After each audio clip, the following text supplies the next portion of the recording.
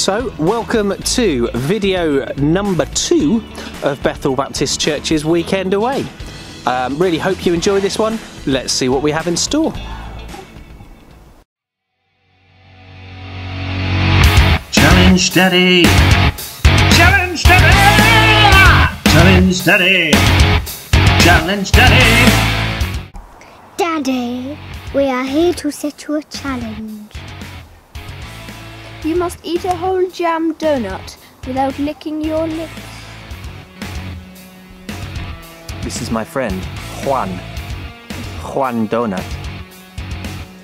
No licking then.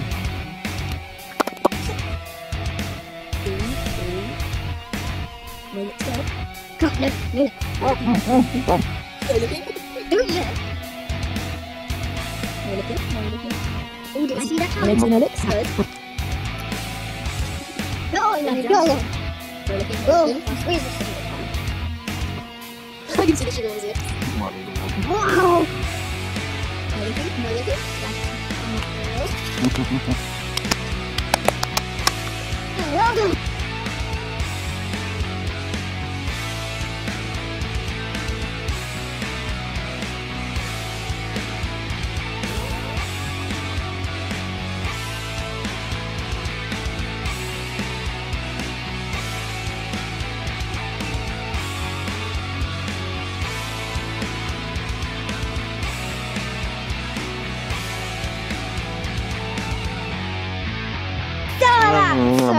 Mm, that was afterwards though.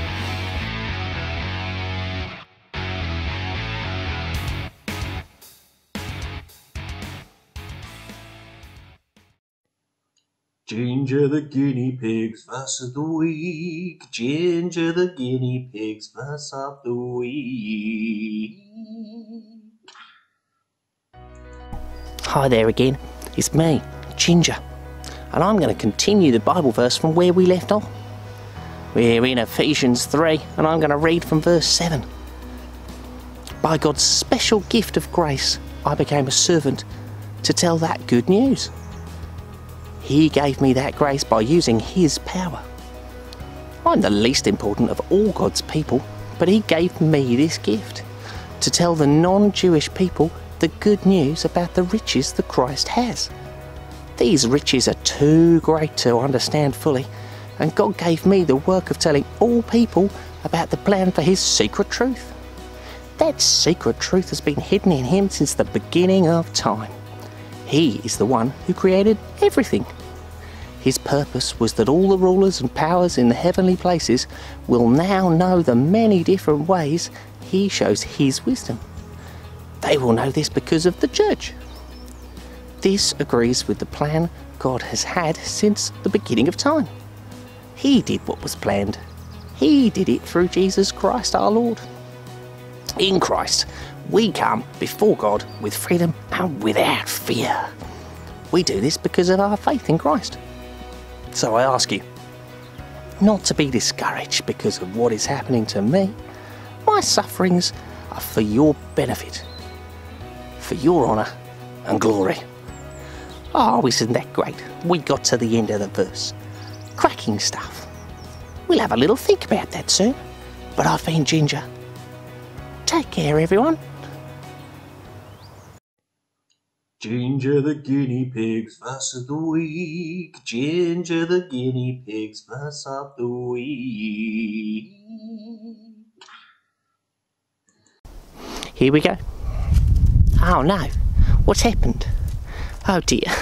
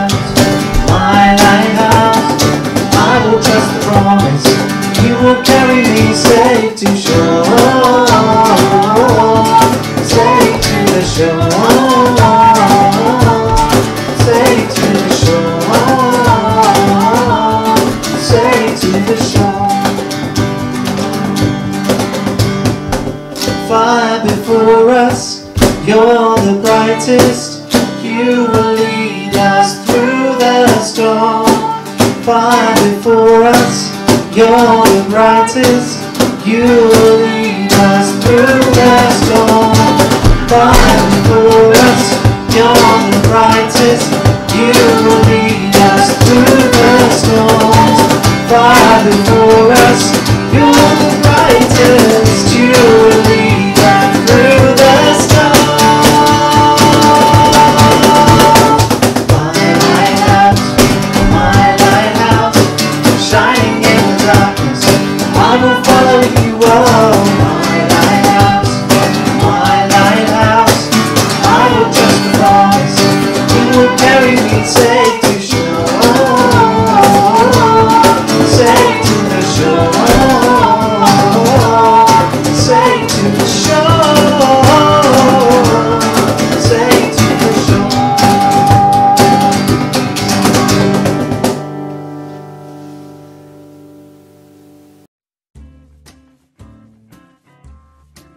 Talking to Alexa. Talking to Alexa. Talking to Alexa. Mmm. Alexa, do you know where Swavesey is? Swavesey, England is a town in the eastern part of England. It is located 55.1 miles north of London, England. Alexa, talk like a dog.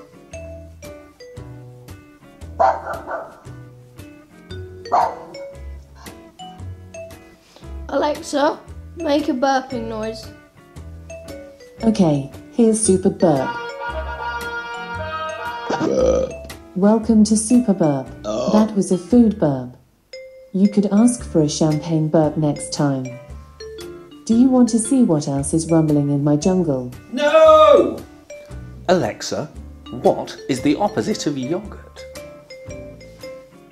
According to an Alexa Answers contributor, the opposite of yogurt is milk. Did that answer your question? No. Alexa, talk like a pirate. Ahoy, you land lubbers. Welcome to Talk Like a Pirate. Arr, shiver me timbers. Alexa, talk like a Wookie.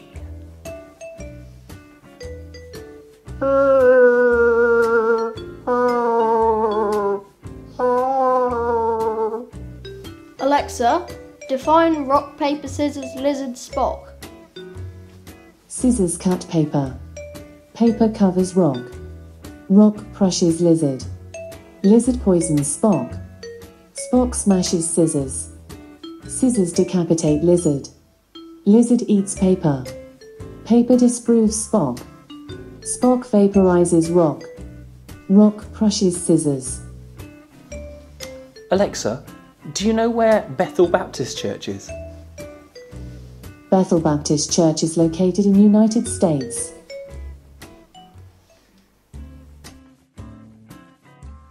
Talking to Alexa. Talking to Alexa. Talking to Alexa. Mmm.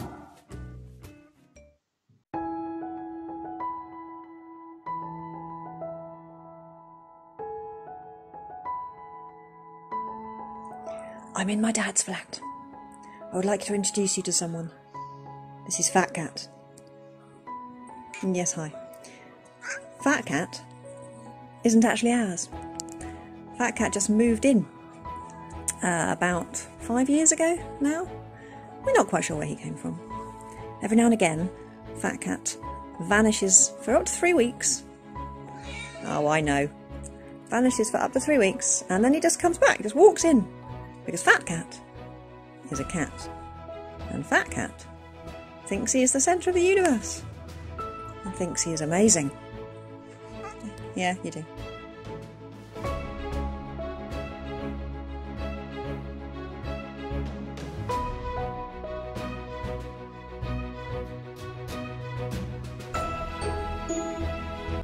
Ephesus, there was the temple of Artemis. This is my goddess Artemis. Look, I don't think it's quite as strong as my White Witch of Narnia because I am wearing bed sheets. And I really hope no one knocks on the door right now. The temple of Artemis in Ephesus. It was one of the seven wonders of the ancient world. It was huge, it was magnificent, it was the centre of business, it was the centre of the community, it was the centre of life in Ephesus. And then people started to become Christians and they had to live in a different way. And this was why Paul was writing the letter to the Ephesians, is because there was there was difficulty in that the Greeks, because Ephesus was in Greece, the Greeks thought you had to do religion and faith in a god in a certain way. You had to do things right, you had to spend a lot of money.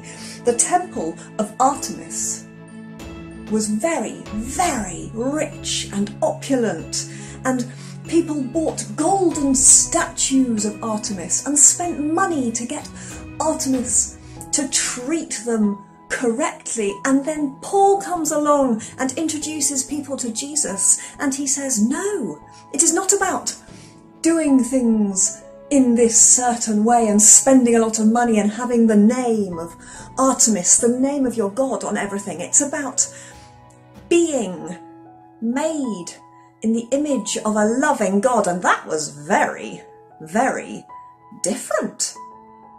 So the Greeks and the Jews and the everybody else who made up this new kind of church couldn't quite get their heads around it.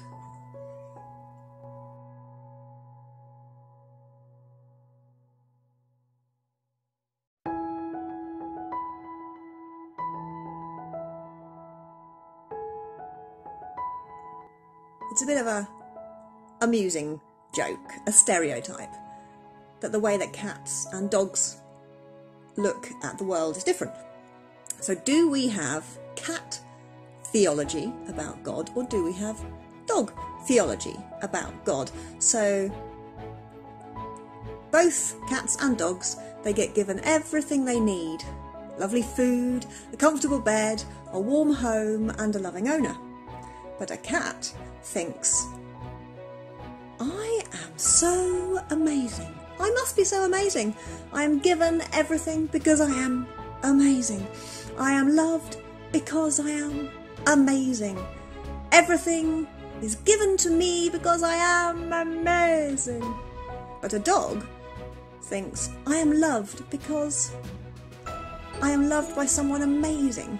And I'm given a comfortable bed because my owner is amazing. And everything in my life is comfortable because. Hello? Because I am loved by someone amazing. So, do we think about God like. Do we think about God like a cat? Is everything. Hmm, here we go, look. Is everything about us because we are amazing? Or is everything about God? Because, yes, thanks. Because He is amazing. Cat theology or dog theology?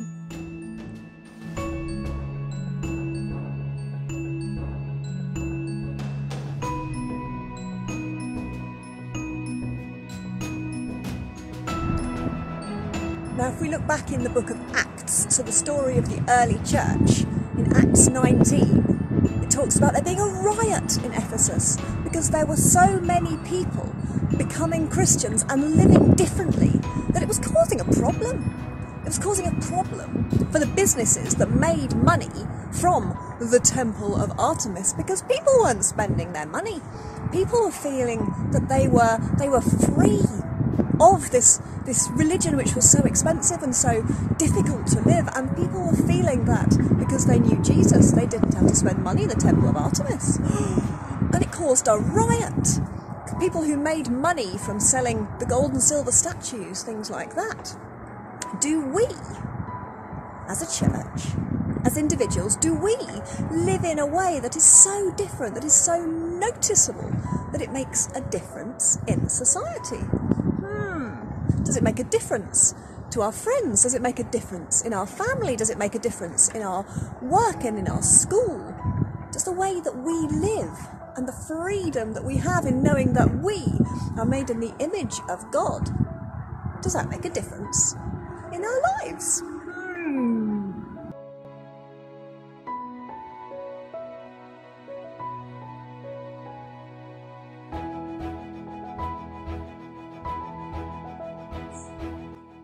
If we really truly believe that we are made in the image of God, how does that affect who we are, hmm, how we think of ourselves, and the way that we act, and the things that we do, and the way that the world around us and the people around us see us?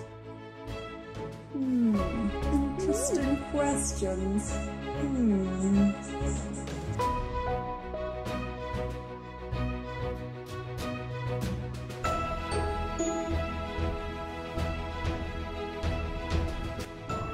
So sparkly right now. I'm also quite cold. I'm gonna get changed.